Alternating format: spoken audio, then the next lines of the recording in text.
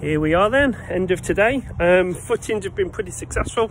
Uh, ground conditions are, nice and easy. It, around here it's sand um, and then eventually hit sandstone anyway so you don't really have to go too far until you're hitting um, something solid anyway. So i'll give you a little flick around let you know so here's the first strip.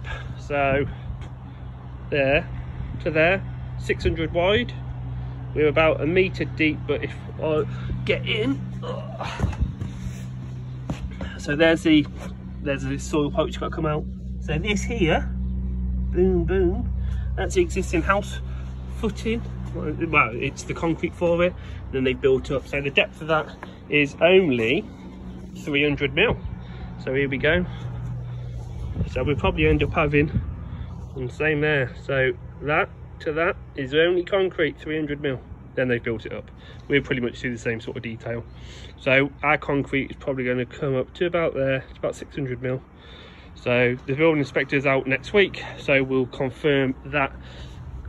We confirm that afterwards. So, all we've got next week next tuesday i think is um, building inspector's coming out first thing on monday. He's just going to let me know what if we're fine on the um, on the depth of the footings.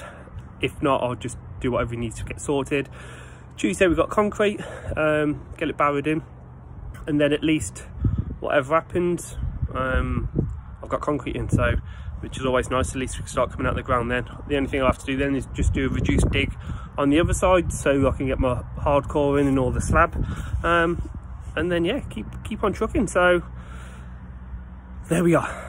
Saturday's done. Um, catch you all next week. Bye.